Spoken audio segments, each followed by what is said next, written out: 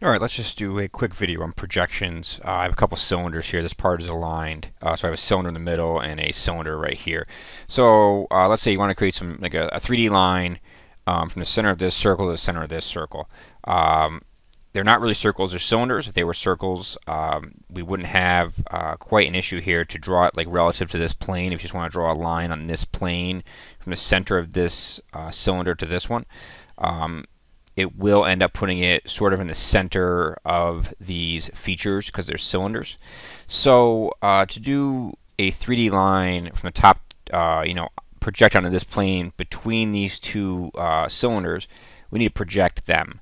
So what we need to do is go into construction, go to projection, and we're going to project cylinder 1 onto plane 1 okay?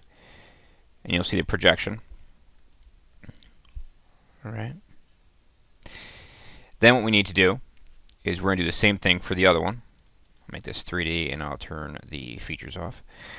And then what we'll do is we will go back into construction, go into projection, and I'm going to select cylinder 2 and plane 1. Okay, and I'll hit OK. So there's our projections.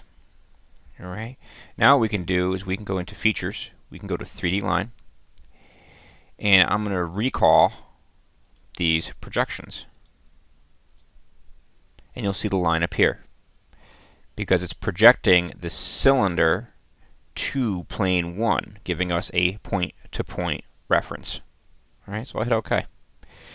And now you could use this to measure lengths. Again, I mean, even here you could you could uh, measure um, using these here.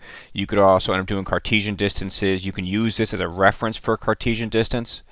Uh, so let's say you wanted to measure, uh, you know, this uh, cylinder to this cylinder, and you wanted to get alignment here. You could use that line for in your Cartesian distance as your uh, second datum reference. Uh, your primary being the uh, plane up on top.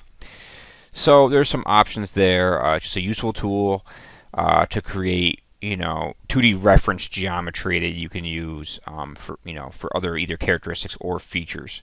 Uh, so again, it's just projections and sort of the order operations to get flat 2D geometry referenced however you would like. We just happen to project this cylinder and this cylinder um, up, getting point-to-point -point measurements, and then creating a recall 3D line um, between those two. So if that was helpful, um, if any questions or comments, leave them below. Thanks.